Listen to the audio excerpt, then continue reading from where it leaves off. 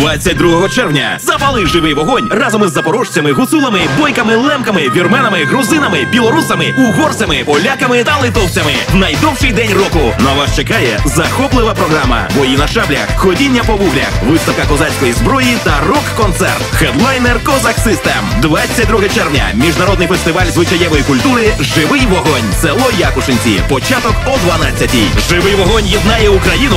Живий вогонь єднає світ.